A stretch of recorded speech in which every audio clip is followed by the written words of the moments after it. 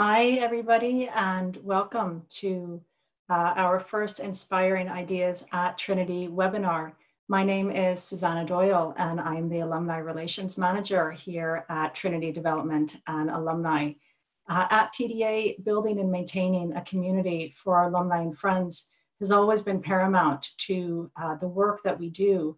And we've traditionally done this through uh, welcoming you at events that we run here in Dublin on campus as well as around the world through our international chapters. And we really, really miss being able to welcome you uh, to these different events that we would have normally been running, uh, where we would have the opportunity to connect with all of you, see you reconnecting and networking, um, and having opportunities to continue learning. And so, in the absence of being able to run these live events, we still wanted you to know that we're here to support you and that the Trinity community is still uh, here and very strong. And as such, we have started this Inspiring Ideas at webinar uh, series this evening.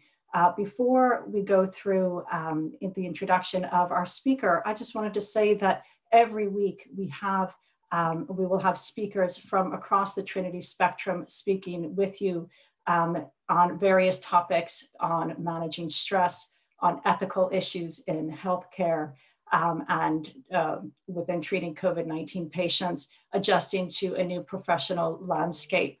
Um, the speakers all come from across the Trinity spectrum. They'll be alumni, they'll be friends, they'll be professors. So we're really excited to kick off uh, this webinar series and to ensure that, especially during this time of social isolation, you feel supported by the Trinity community. Uh, before I introduce our first uh, speaker for this evening, um, I just wanted to quickly go through a couple of uh, technical uh, pieces with you, as well as um, what the format for the evening is going to be. Um, if you are listening in tonight on Zoom and are unfamiliar with some of the functionality of it, um, if you need to go into full screen, you can do that on the top right of your screen. You can press the button there. If you need to adjust your audio settings, you can do that on the bottom left of your screen. If you need to leave the meeting, you can do that on the bottom right of your screen.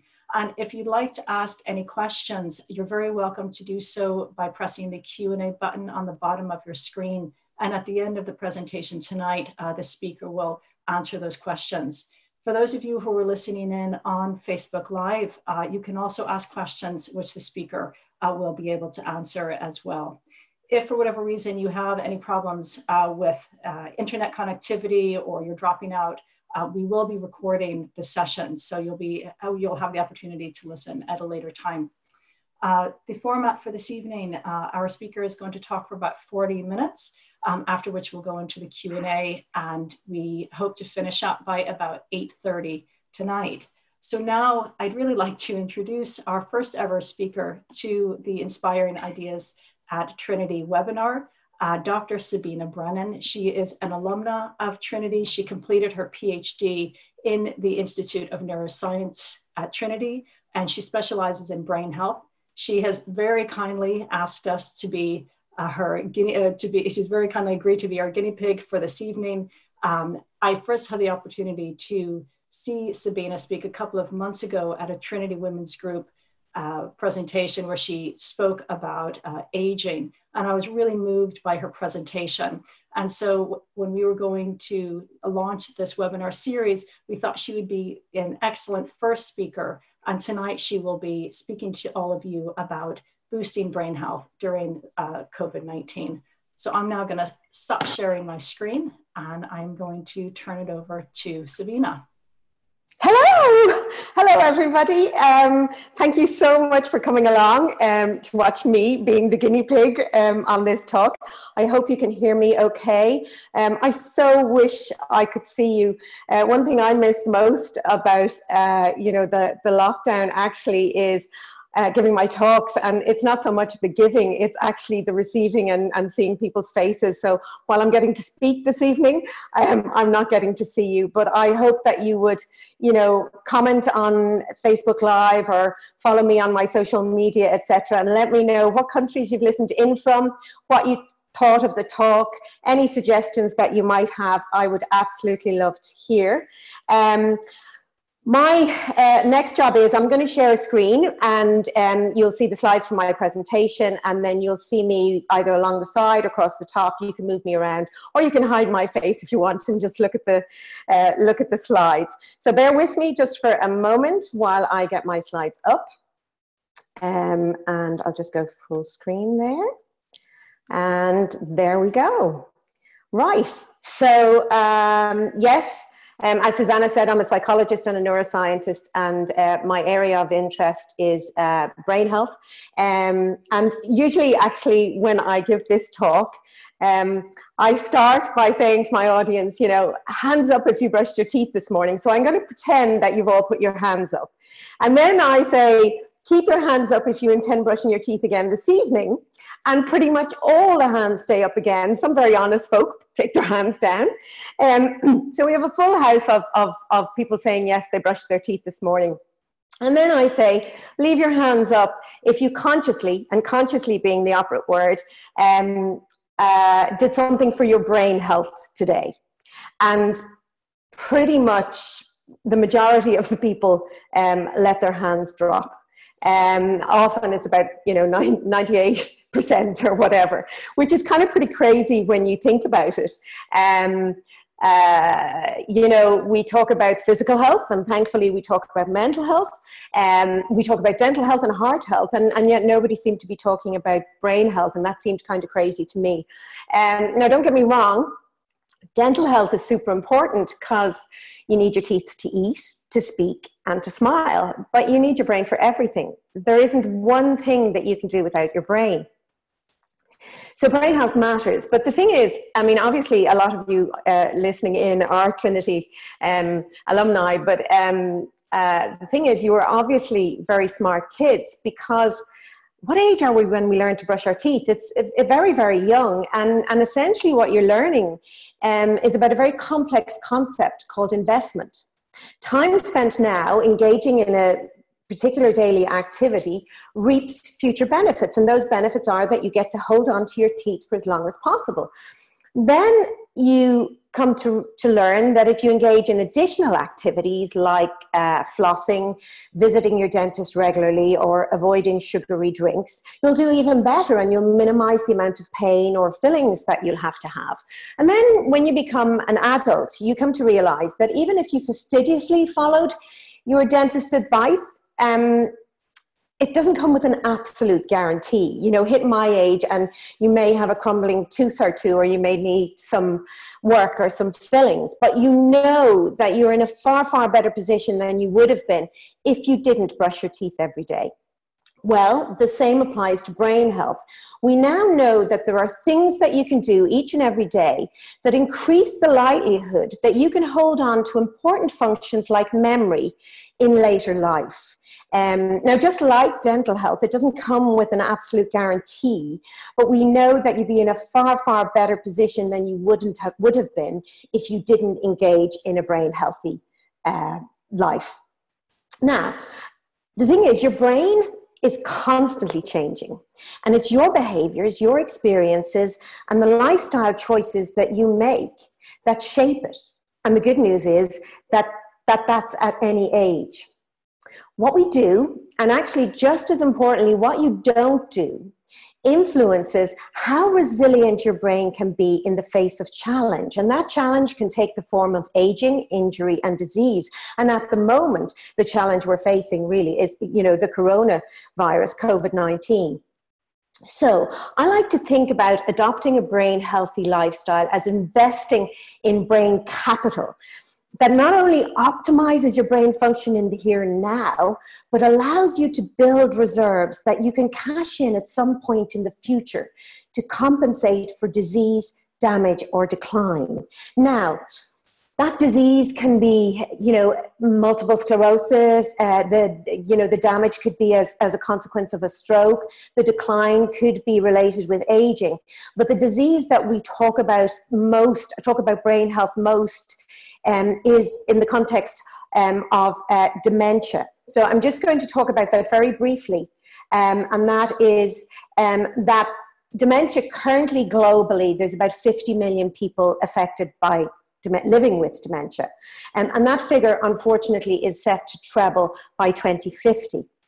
Now, Alzheimer's disease is the most common form of dementia, and that affects about 34 million people. And any of the research or information that I share throughout this talk refers really to Alzheimer's disease because that's where the, the major, bar, you know, the majority of the research has been carried out. Now, at the moment, one in three children born now will go on to develop dementia if we find no cure. And at the moment, there is no cure. And even if there is, a, a cure is forthcoming, um, it will likely need to be something that will work in conjunction with lifestyle changes, much as uh, a lot of heart interventions do. You know, um, we have cholesterol lowering medication, but you also need to engage in um, lifestyle changes as well to lower your cholesterol. So it's very simple. But because we've no cure at the moment, prevention is key. And there is some good news in that regard because we know that 30% of all cases of Alzheimer's disease are attributable to just seven modifiable risk factors. So things that you can do something about. Now, age is the single biggest risk factor. Um, but what I'm interested in is the modifiable risk factors, the things that you and I can do something about to minimize our risk of developing dementia. Um, so what I'm quoting here from is a paper in the Lancet Neurology that, that um, looked at these seven uh, modifiable risk factors. And they are type 2 diabetes, midlife high blood pressure, midlife obesity, and smoking. They're the first four. And rather interestingly, they are also um, risk factors for COVID 19. So, people living with those are at increased risk of developing COVID 19 also. The other factors include physical inactivity and low levels of mental stimulation and low levels of education. Depression is also um, a risk factor.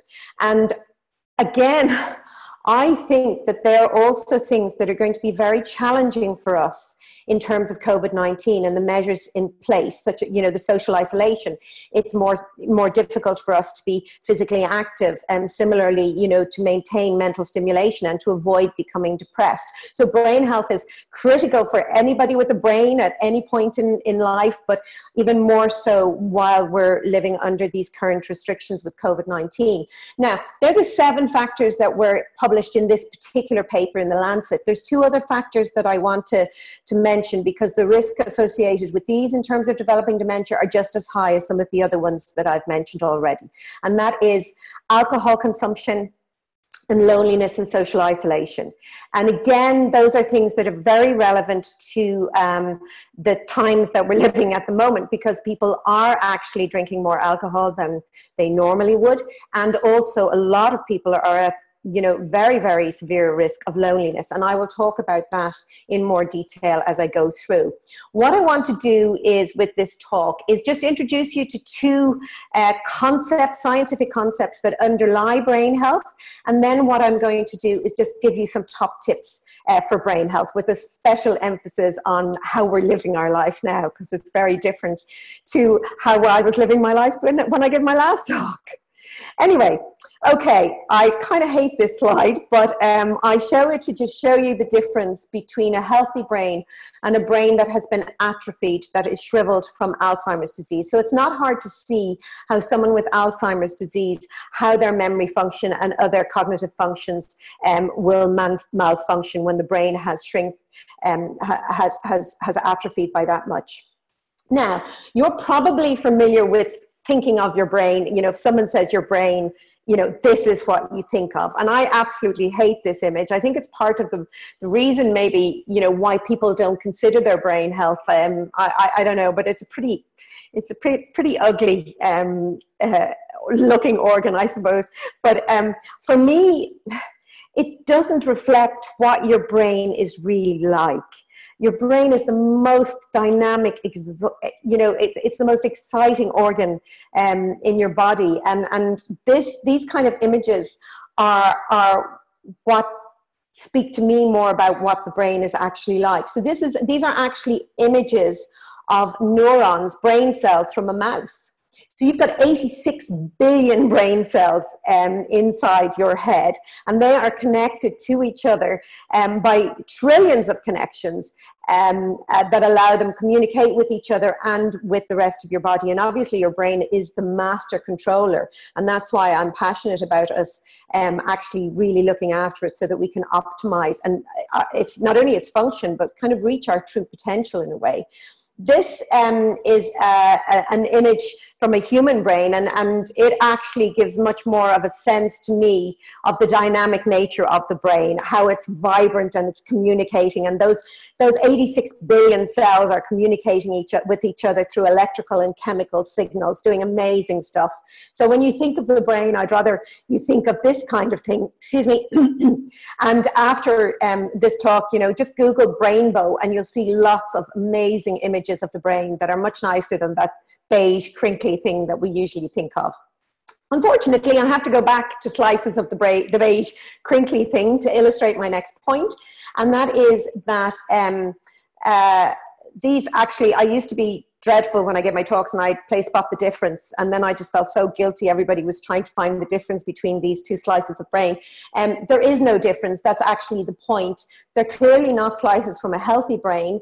Um, and basically, um, what, what I want to, to, to, explain to you is that back in 1989, a researcher called Katzman was interested in finding out um, what was different in the brains of people with Alzheimer's disease compared to individuals who did not have Alzheimer's disease. So he was looking at their brains of individuals from a nursing home who had a diagnosis of Alzheimer's disease. He was looking at their brains post mortem. And then he had a control group also individuals in a nursing home, but these had no diagnosis of Alzheimer's disease. And he made an amazing discovery. He found that 10 cases of cognitively normal older adults they had sufficient pathology in their brain for a diagnosis of Alzheimer's disease, but they had no symptoms whatsoever. So, for some reason, they were resilient. And that sparked a whole area of research. And that's actually really how I got into this area. When I did my PhD, um, I started to read all about this resilience and, and, and also about the risk factors for Alzheimer's disease. And I sort of said, how come I didn't know this? And how come nobody knows this? And because um, there have been publications since 1989 about it. And that's why I've become passionate about translating the science and getting that information out to the general public because it's very empowering empowering information. So what we've come when when it comes to science, it's the area of research that I work in. We call that resilience reserve. Okay, and it comes from the repeated observation by clinicians that there's no direct relationship between the degree of brain pathology or a brain injury and the clinical manifestations of that disease or um, that injury. So the symptoms. There's no direct relationships. Two people could sustain a stroke of the same magnitude. One can have severe impairment, and the other can have relatively minim- minimal. Um, impairment and, and so we call the difference there this resilience we describe it as reserve and what, what, what we've come to realize is that this resilience that we call reserve is actually linked to lifestyle factors and so that's where the good news is. So it's really about certain life choices that these individuals made allow them to build up this reserve that offers um, a, a, form of protection um, when disease strikes or when they're challenged. Now, it's not a get out of jail free card. Um, uh, but what it does is it allows you to sustain more brain pathology for longer before you will develop symptoms ultimately the symptoms will come. So what it actually is doing is changing the direct the, the trajectory of the disease. So you get more years in possession of your full faculties or your, your memory function, etc., uh, for longer, uh, which is good news.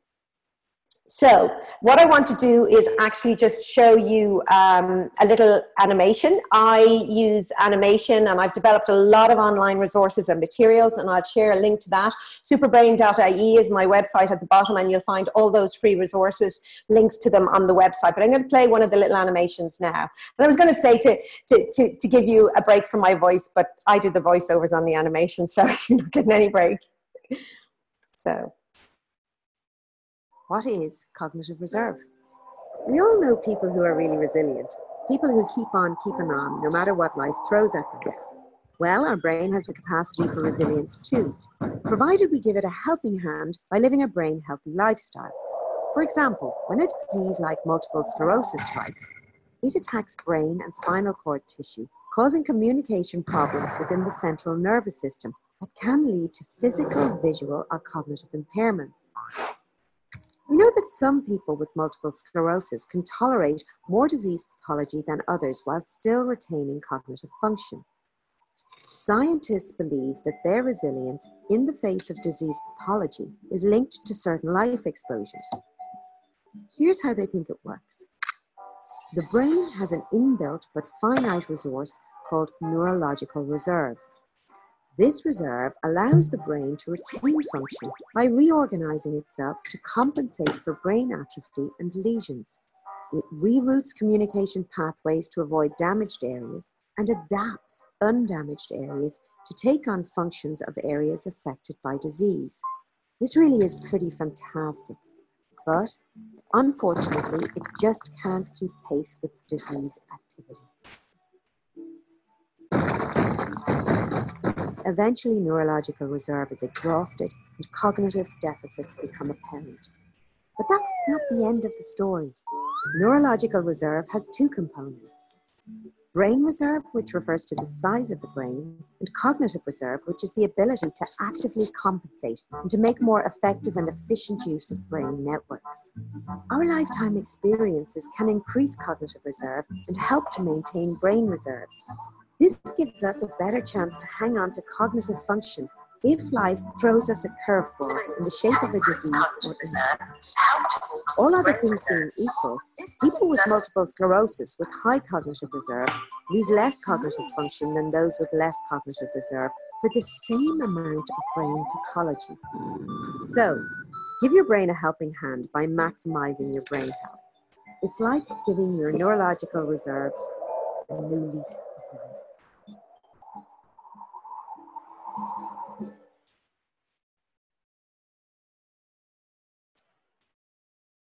So, as I said, there's loads more of those animations available on my uh, website. I want to very briefly tell you about the Bronx Healthy Aging Study. Um, now, the reason I want to tell you about this is because earlier on, when I mentioned the risk factors, I mentioned that low levels of education increase risk for developing dementia in later life. And that was really rather con- con- concerning when, when that was discovered first, because you know, then there's a real sense of if you finish school early, um, you have an increased risk for developing dementia, and what can you do about that? But we also know that engaging in stimulating activities um, is also protective.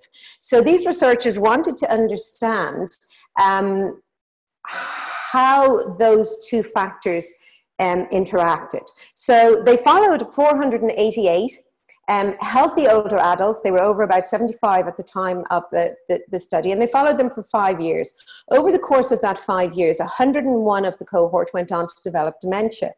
Now, what they were looking at in this study was to see whether engaging in these stimulating activities, and you can see from the list there that none of them are, I mean, they're what I would call um, hobbies, you know, things that we like to do, reading, writing, crossword puzzles, etc and essentially, you know, they were looking at the dose response in a way. So they were looking at, um, you know, engaging in one of these activities for one day per week. They were interested to find out what impact that had on in the group who went on to develop dementia. And they found out that engaging in one activity for one day per week in the individuals who had developed um, Alzheimer's disease, that that delayed the onset of memory loss for two months. So that's a great payoff. Um, and the really, really exciting thing was that that benefit, that positive effect was independent of education level. So those individuals gained that benefit um, from what the stimulating activities that they were engaging in in the here and now. And that was in individuals who already had um, dementia. So the, the take home message there really is it is never too late uh, to engage in stimulating activities. The second concept that I just wanted to introduce to you is neuroplasticity. And forgive me if lots of you are already familiar with that. Normally I can judge um, in the audience, but I can't see anyone's faces at the moment. But I'm taking it that people um, aren't familiar with it. Um, so our brain is flexible it's adaptable, it can change and reorganize itself um, by growing new connections between neurons. And it does this at three key points in our lives. Um, at the beginning of life, uh, when the immature brain organizes itself. So, as humans, we're born and, and with quite an incomplete brain. There's an awful lot of work has to be done in early years, and that's why it's really, really important to stimulate the brains of babies, infants when we have them. It scares me when I see infants in restaurants looking at, uh, you know, looking at laptops, etc.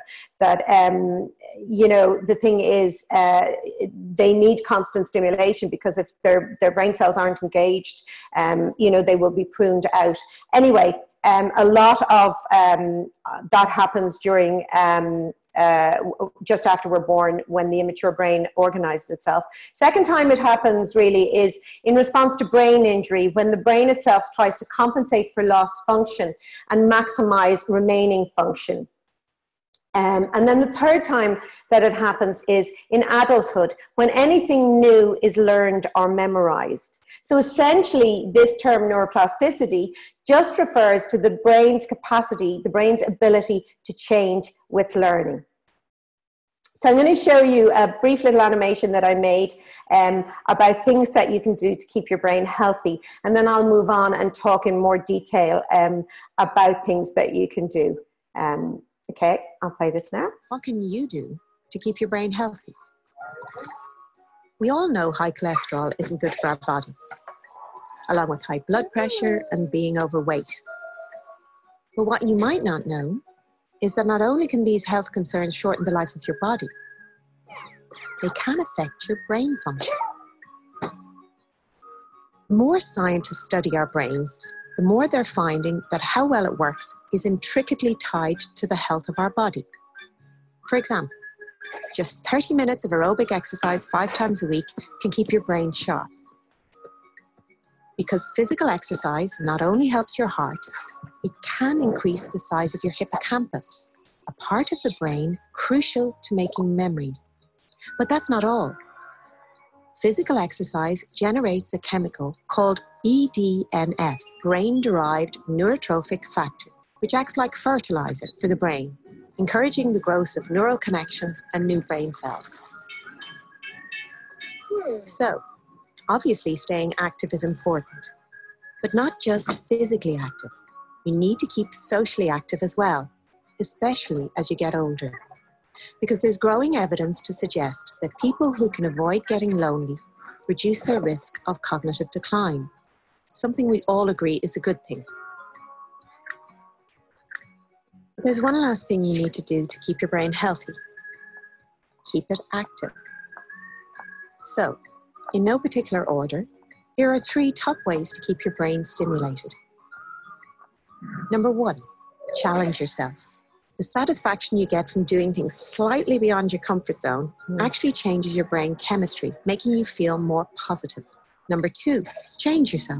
Novelty helps your brain, so it's good to experience new things, take on new situations, and meet new people. And number three, learn something new. This encourages the growth of new brain cells and stimulates the connections between them, which has its own benefits because stronger brain connections also help keep your brain healthy. So don't let age stop you from doing the things you love. Think young because if you look after your brain now, keeping it active and engaged, it will make you proud for years to come.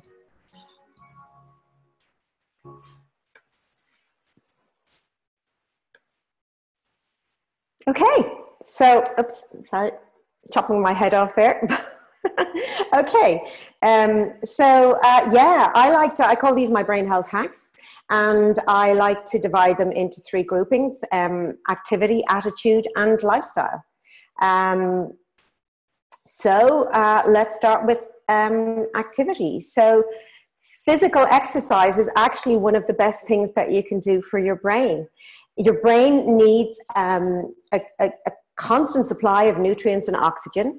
Um, so, physical activity actually has a direct benefit on both the brain structure and brain function. And of course, physical inactivity is associated with increased risk of cardiovascular disease, which, if you remember from my very first slide, there is, you know, a lot of cardiovascular uh, related diseases increase your risk of developing dementia. Um, physical exercise also releases hormones that create a nourishing environment that allow and, and support the growth of new brain cells. And they also stimulate neuroplasticity, um, increasing the growth factors, making it easier for um, your brain to grow new connections. And really, when it becomes comes to a healthy brain, um, brain health, what, what you want is, is, is more connections, more brain cells. Because when I talk about that resilience and that resistance to disease. It's not so much about how much disease or pathology you have in the brain, it's about how much healthy brain you have.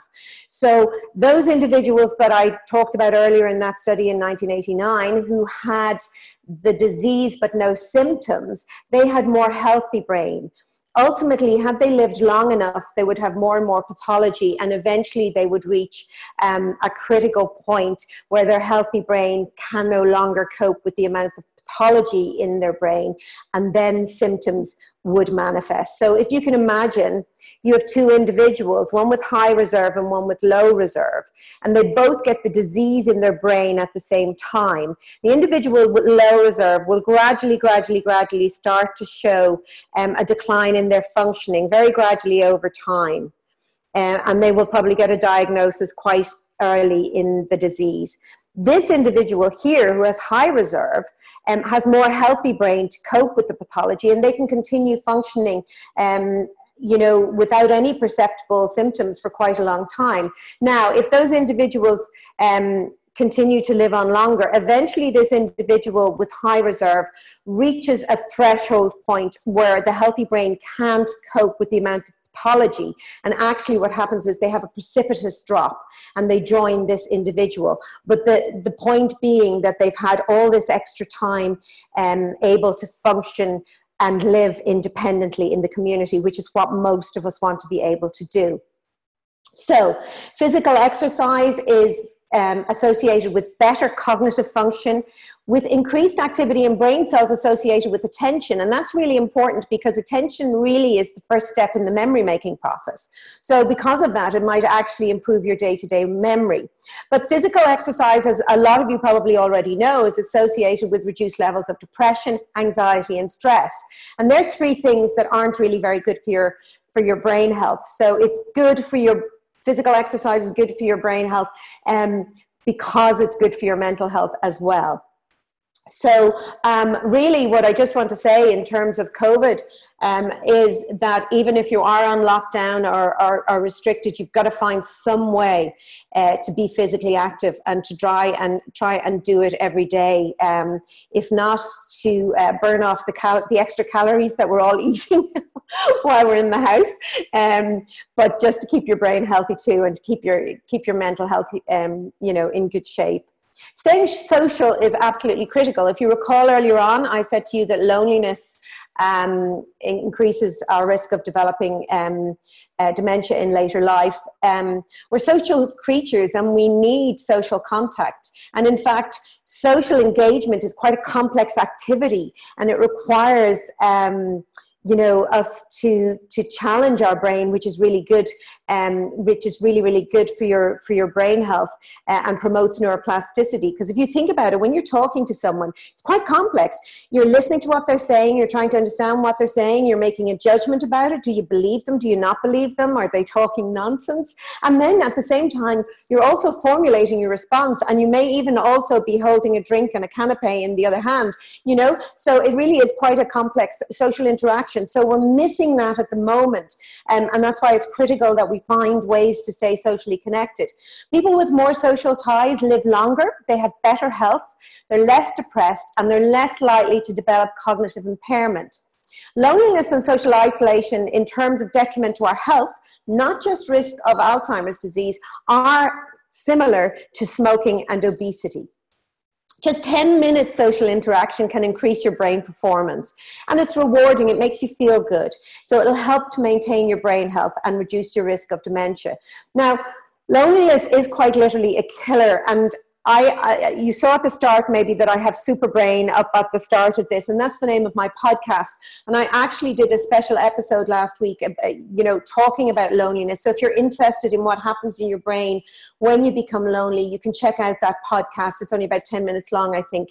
Um, so loneliness really is a health issue and i myself has, have actually spoken to uh, government ministers here in ireland um, and also i'm involved in the uk in westminster but you know to, to understand that it is a health issue and i, um, I think uh, something that will it's really important we pay attention to during this covid-19 um, during the measures public health measures. Um, but in addition, loneliness is associated with increased susceptibility, susceptibility to infection and also increased levels of stress hormones, and it interferes with your sleep. And as a consequence, then, is associated with impaired immune function. So, in the midst of this pandemic, we want a, you know our immune function to be working properly, um, and we don't want to be susceptible to infection. So, maintaining social contact um, is absolutely critical because also if we become lonely and isolated, we're more likely to engage in unhealthy behaviors such as overeating and drinking too much, um, as a lot of us are actually noticing um, more than ever before. So it's really critical to stay social. And if you're working remotely from home, make sure that you you know, still have those water cooler moments during the day.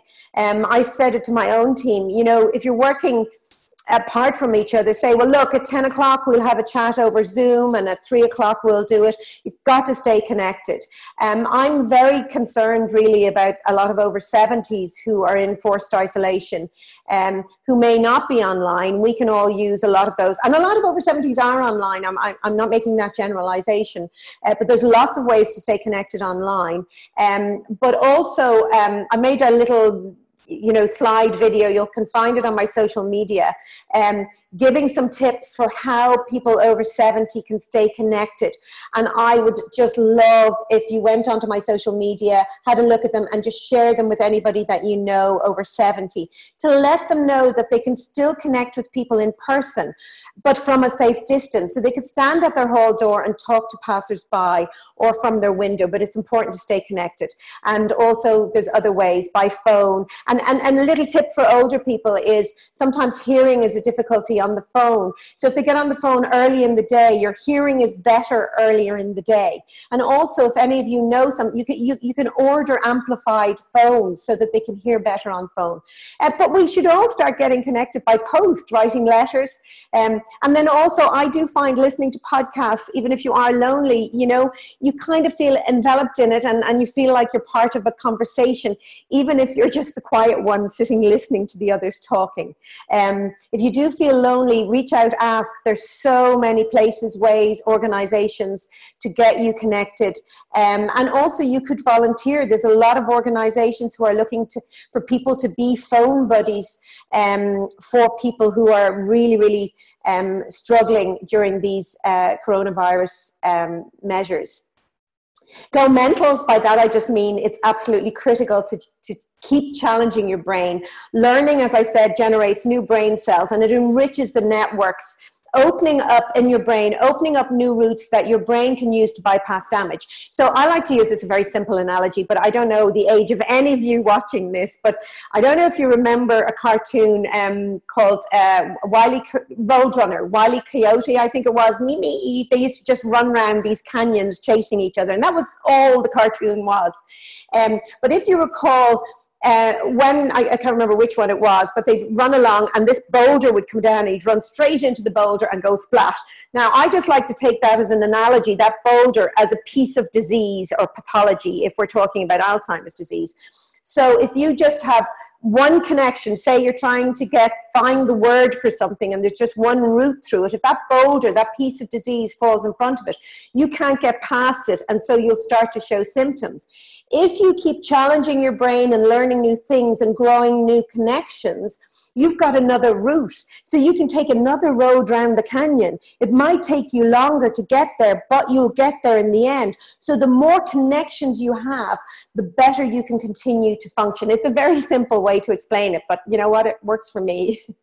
So um, the key in terms of um, your brain health really is that you must if you're if you're engaging if you want to to uh, stimulate your brain. A lot of people say to me, Oh, I do the crossword, I do Sudoku. Great if you enjoy it. But unless it challenges a you, you're not getting those new connections. So if you do the crossword, in order to, to, to get those new connections, you need to push yourself to the next level. You need to do the more complex crossword or put a timer on it. If you did it in 30 minutes, try to do it in 23, 25 minutes the next time or whatever. So in order to get the brain health benefits, you've got to challenge yourself. You've got to involve learning. It's got to involve learning and novelty, newness.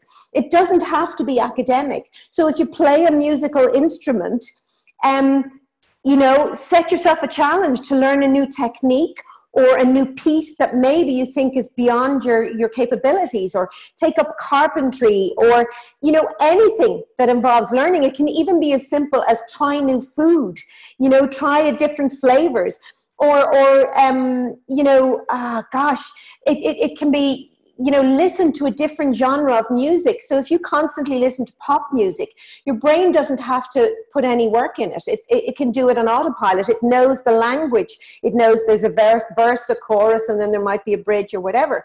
If you challenge it by giving it some bluegrass music or jazz to listen to go oh hold on. What's the language here? What's the pattern I don't know what that is. So it has to work and it has to learn, and you'll get new connections.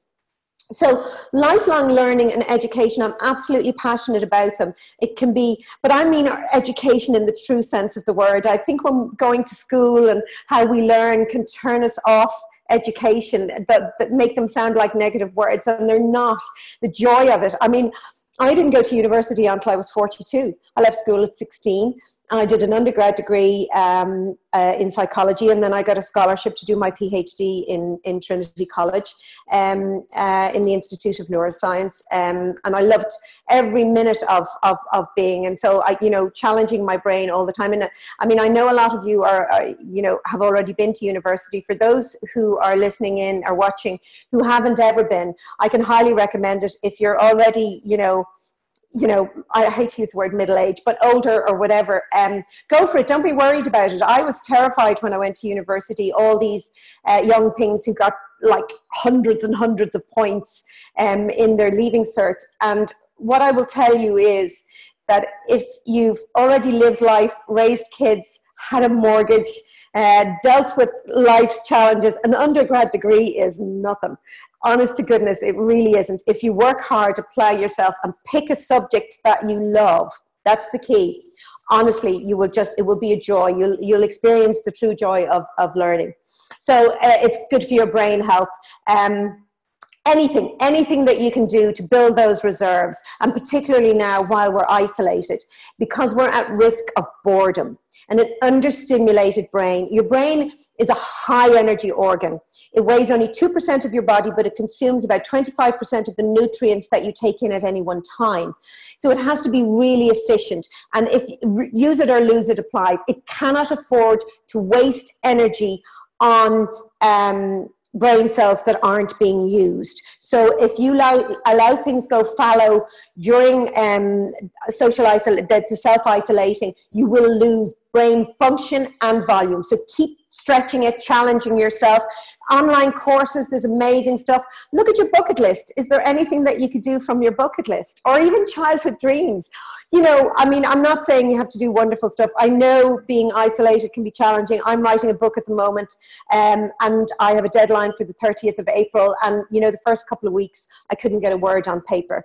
But now we're kind of getting into, we're starting to adapt. So start to revisit and see whether you can take on um, new challenges. Um, love your heart. So your heart is really just a pump that services your brain. Uh, I don't need to go into detail about how you can look after your heart health, um, but it really is critical that you do because your brain is totally dependent on your heart to give it oxygen and nutrients. So exercise, maintain a healthy weight, a balanced diet, and look after your blood pressure is really, really important. Um, what kind of diet is good for your brain? A Mediterranean diet is the one that has the uh, the most um, evidence um, for, for, you know, for being good for your brain. Um, fresh ingredients. Uh, you know, I saw a lot of people panic buying at the start of this COVID and they were all buying these preserved foods fresh ingredients. Avoid the preservatives, the added sugars, the added salt. Cook from scratch. We have more time now to do that, and it's actually easier and quicker. Um, uh, so I have some a video online um, that actually also explains why high blood pressure is bad for your brain. So choosing balance in life is critical. Your brain thrives on regularity and um, it needs to know when it's going to get sleep when it's going to get food etc and we make life really hard for it because we live really irregular lives um, if you want your brain you know if you want it to operate to its optimum well then um, do things regularly um, uh, also in a broader sense in your life all work and no play is not good but all play and no work is not good for your brain either. We spend a lot of time on technology. We've got to try and balance that with nature. We're still very lucky where we are here in ireland. We're still able to get out walking. I'm fortunate in that i live near the sea so i can still see that but try and connect somehow, whatever way you can uh, at the moment, and also balance water with alcohol if you are going to be drinking it. Sleep is absolutely critical for brain health. When you go to sleep at night, your brain has a job of work to do. And that job is involved, actually involves consolidating memories um, and the new things that you've taken in uh, during the day. So at the early part of the night, when you take information in, it's filtered first and then we see activity electrical activity where it's bed, embedding that information across your brain. Then in the later part of the night what i would call early morning what we actually see is activity where the new information that you've taken in is being integrated with all your existing memories and information. And that happens during when you have more rem sleep the dream sleep. And that's why you often have those really strange dreams where you've a bit of something from today mixed in with something from your past. And you know, if you want to have more insight and ideas and be more creative, make sure that you're getting sufficient um, sleep because that really is where they come from. You can wake after a good night's sleep with the solution to a problem. But also, when you sleep at night, your brain has to clear out the toxins and the byproducts of metabolism. It can't do that during the day um, whilst it's also being you. It can clean a little bit out, but it can't do a deep clean. So you need really good solid sleep, sleep to clear out those toxins. And some of those toxins are implicated in Alzheimer's disease, beta amyloid. In addition, you know, poor sleep will lower your immune function, and you have a, a you know a, a link in with stress. So, tips on how to uh, look after sleep it's the regularity thing. Get up and go to bed at the same time every day, even at the weekends. Your brain doesn't really care whether it's the weekend or not. Physical activity is brilliant for inducing sleep. Managing stress, I'll be talking about that in a, in, in, in a moment. Try and have some downtime before bed and lower the lights in the evening time. You know, try and play with what uh, circadian rhythms, you know. Um, try and stop with the technology for about an hour before bed. Um, you can see a few more there that you probably already know about caffeine and, and eating lightly, um, etc. Um, so then attitude is really, really important. Uh, managing stress is um, critical um, because I have to say, first of all, stress is not inherently bad. And if you want to rise to the challenges that are so good for your brain, you need to evoke the, the stress response. You know, you, you need that to attain your goals um, uh, and actually, you know, motivation. So, so, there's nothing wrong with an appropriate stress response. When it becomes problematic is when it's poorly managed and chronic. Um, and when that happens, um, oops, uh, okay, I've just noticed time. I'm going to have to really hurry up. So basically, um, poorly managed chronic stress can impact on the structure and function of the part of your brain, the hippocampus, that's involved in learning and memory. So it can in, impair that, but it also can reduce your immune function and set the stage for depression. So it's all about finding your own stress sweet spot these slides are going to be uh, come up afterwards, so you can come and have a look at them, um, and you'll see some tips. But being realistic is important. And what I just want to say here in terms of COVID, I put up uh, another Superbrain uh, podcast about managing stress specific, specifically. But I would say, you know, avoid being on social media too much. Um, and you don't need news on the hour every hour around COVID. And I have special tips on that on my podcast. Um, be present in the moment. A lot of us are worrying um, about what's going to happen after COVID or, you know, things that have already happened, and we're not living in the moment. Living in the moment um, will help us through this crisis. And um, focusing on what you're doing while you're doing it. It's a natural antidote to stress. Um, and um, it also will keep those negative thoughts and anxieties at bay. Um, I'm coming to my final, this is my final um, tip. It's to keep smiling. Um, it's free. It actually boosts the growth of new brain cells in the hippocampus, which is responsible for learning and memory. It makes your brain more resilient and it, it releases feel good hormones. It boosts immune function. Yes, it boosts immune function, which we really need now. It lowers your blood pressure and it protects against stress, anxiety, and depression. The simple act of smiling makes you feel happy even if you're not. So it really is a case of fake it till you make it. You release all those good benefits when you smile a lot of us, you know, feel, gosh, there's so much awful stuff going on in the moment and so much death around us that it seems inappropriate to laugh and to smile. But we must do, we must manage that stress. And laughter is nature's natural stress buster. It actually lowers cholesterol levels. So get yourself a pile of funny movies, funny podcasts, whatever makes you laugh, have it on at the ready when you start to feel that anxiety and stress rising that a lot of us are feeling um, when we listen to the to, to, to the to the news. Um, uh, be aware of the negativity bias. As humans, we're heightened to negativity. So you need five positives to counteract every negative. So the next time you have a negative thought, tell yourself you're not allowed to have another one until you've thought of five positive things in between. And then I'm going to finally leave you with my tip, and that is to smile at least five times a day.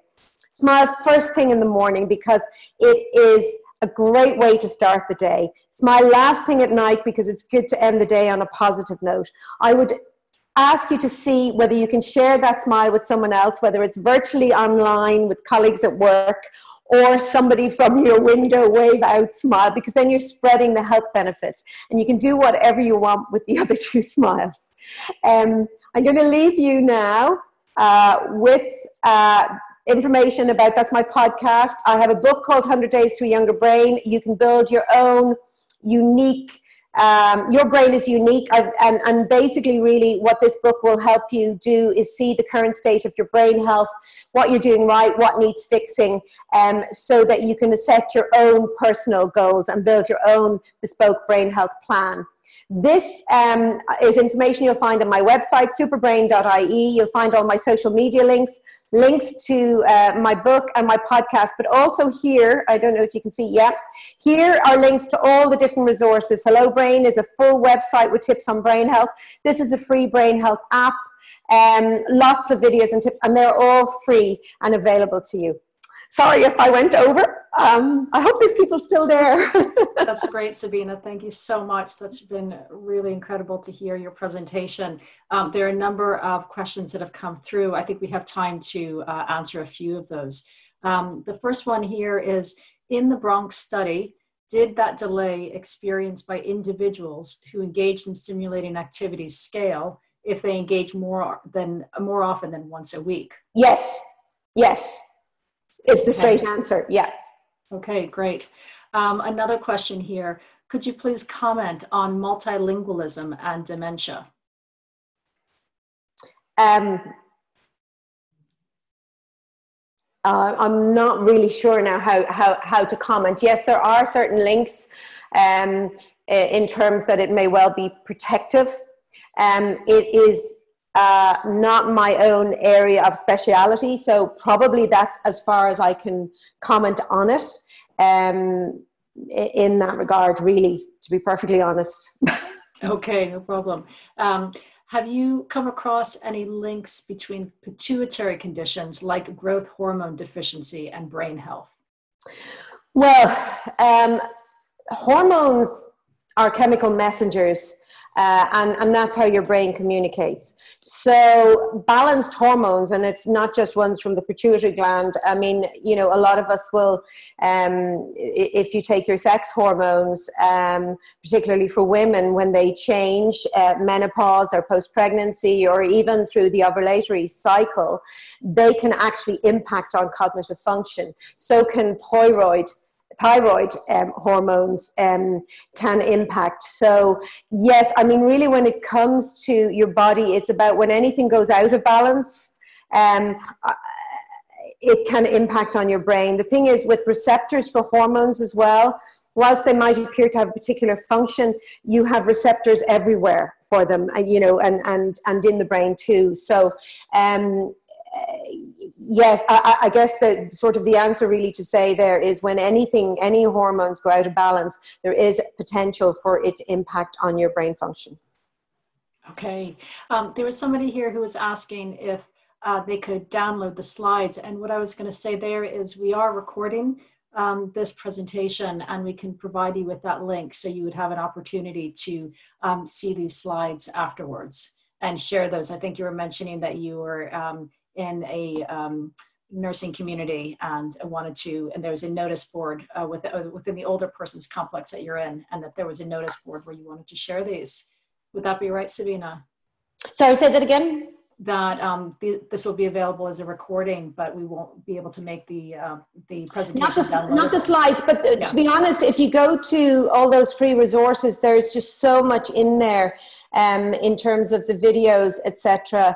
Um, uh, if that, it, yeah, I mean, I actually have tons of DVDs as well. Um, if people, you know, wanted to, to collect some of them for, for nursing homes or something like that, um, they're, they're, they're more than welcome. But, um, uh, yeah, I mean, honestly, the resources and, and if they have them, they can share them. You know, nursing homes have lots of TVs as well. You know, they can just should be able to play them on smart TVs. The the free resources Fantastic.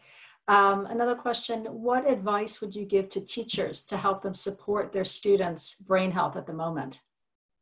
Oh, that's a very good question. Hmm. Um, I yeah, I, I, I mean, and, and the, the, funny thing is when I when I you know was first meeting the publisher of my of my of my first book, and they said, well, you know, who's this book aimed at? Like, who would be? And I kind of went, well, it's for everyone with the brain. And and the thing is, brain health is for everyone with the brain. And the earlier we start, the better. So I would think in terms of, uh, you know, advising kids about their brain health.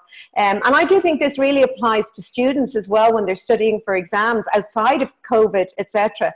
Um, physical exercise is critical for your brain health. And really rather than pushing through and, and you know trying to study for six hours on the trot you would be far better breaking it up and going for a run. And in fact there's research to, to show this. Going for a run and then coming back and you actually will be able to take more in and study better. Similarly scrimping on sleep is not good um, because the thing is um, if you haven't had enough sleep the night before you haven't cleared out the temporary repository of the information you took in yesterday, so you actually can't take in any more information. And if you don't get, a, even if you've had a good day and you've learned stuff, if you don't get enough sleep at nighttime, that new information won't be consolidated as memory. So sleep is critical. Um, I would tell them to, you know, spend a little less time on the, the you know, the light emitting devices, particularly before going to bed at night um, because the blue light uh, wakes them up. Um, to try and manage uh, their stress, often people forget that kids can get stressed and depressed and anxious just like the rest of us. Um, I think at the moment, the biggest tip around um, the COVID 19 is acceptance. There's not a lot we can do about these things at the moment. There's a lot that um, is out of our control, but what we can do is control how we respond to them. And one way to do that is to really just start living life in the moment um, and getting on with things that make you feel good and things that you can achieve and not be thinking too far forward and not be saying, oh, I hope we're out of here on the 5th of May, you know, because then oh, it just builds and builds and builds. Just try and focus um, on the here and now. Okay, um, just a few more questions here. Uh, what are your thoughts on supplements like omega 3 fish oils? Okay, so there's actually um, there was a study done in the U.S. around all the various supplements. There's a lot of people that are um, selling supplements on the basis that they will boost your memory function. Um, as I mentioned earlier, there's no research that shows any singular, you know, outstanding vitamin, nutrient that you can take that boost your brain health. You've got to really think of an overall diet that gives you um, the nutrients that you need, and a Mediterranean diet is pretty good in that regard. We do need omega 3, but from your diet, um, is enough unless you have been diagnosed. Vitamin B12 is very important for brain health, but unless you've been diagnosed as being um, deficient, you don't need to be taking the supplements. So my advice, and, and from that, basically, there was a large, um, large piece of research done very recently in the US um, looking at all the supplements. And where it stands at the moment is there is no evidence base to say that you should be taking any of these supplements and that they actually will benefit in a particular way. Far better to go with these things that don't cost money that we know do benefit your brain health because there isn't one thing that i have suggested this evening that costs a penny you know it really is just about a healthy life so a balanced diet is is, is critical and as close to um, as close to its natural form as possible, you know. And, and actually, I'm finding that I have a bit more time to, you know, because I'm at home and, and cooking. And, you know, kind of batch making soups with loads and loads of vegetables mm. and it's really actually quite easy um, and sometimes the stuff is cooked quicker than it would be with these ones that come in plastic and you have to stick in the oven for 45 minutes so avoiding the preservatives and additives and, and a healthy balanced diet it really is all about balance in a way that's a great point yeah uh, just two more questions here um, what would you find between hereditary traits and Alzheimer's? Okay, so good question. Um, so um, there is. Um, there's a couple of things there. So my own mother had dementia, um, so I do understand people's, you know, kind of concerns in that regard.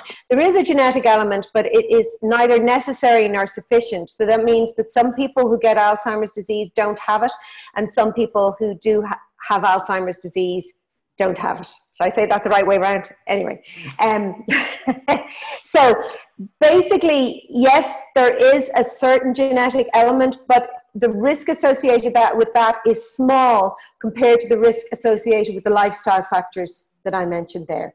So even if you do have that genetic risk factor, if you know living a brain healthy lifestyle should help in the same way as it does for everybody else. And also, what I'm saying here as well, those tips, etc., that I've spoken about and that I speak at length about in my book, um, they're also perfectly good for somebody who already has or is already experiencing memory decline or may already have a diagnosis of dementia. You know, people living with dementia should be challenging their brains. We have a habit of doing for instead of doing with. And so we deprive people with dementia of um, actually looking after themselves and doing things that would help to keep their brains um, active for a bit longer. So encourage them to, to, to do things. Great. Was there a um, second part to that question? No, no, that was it. Um, there was uh, just a final question here, um, and then we can we can uh, close off. Um, and I think you have answered this uh, really during your presentation, but there was somebody here who was asking if you could comment on the interaction between the increased uncertainty in the times that we're experiencing now and maintaining brain health.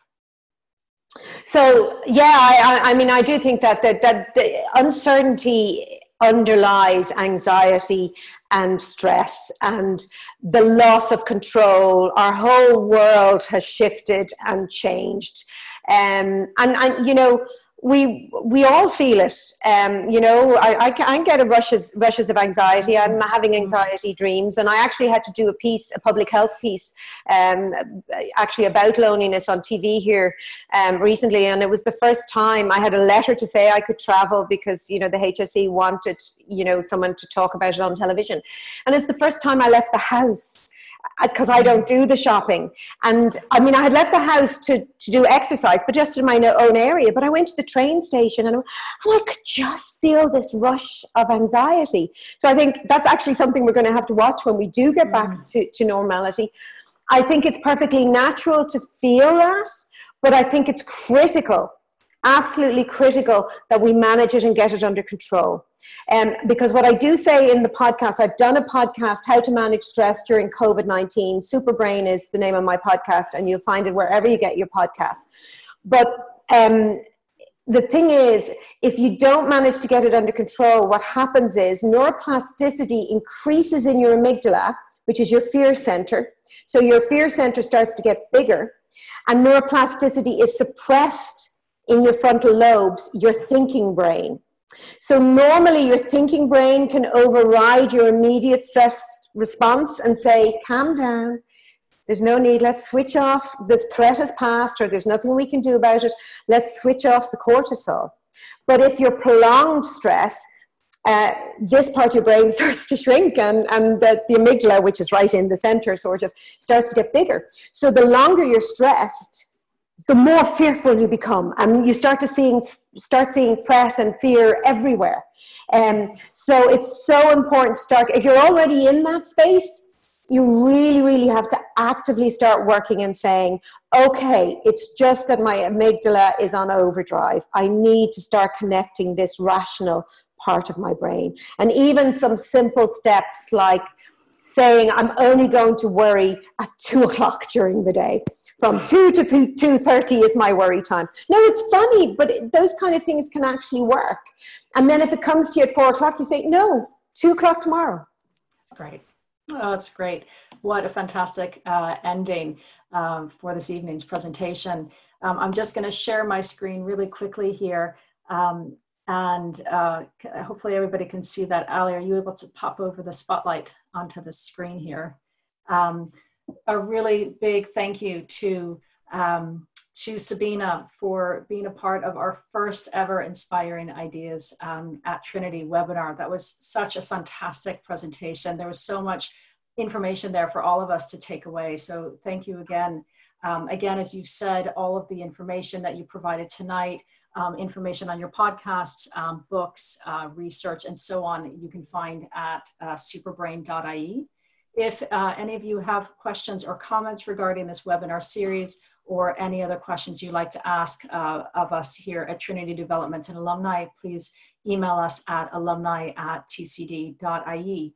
Um, next week, we are excited to uh, bring in Dr. Brendan Kelly, who is the author of Coping with Coronavirus, and he will be speaking on how to stay calm and protect your mental health.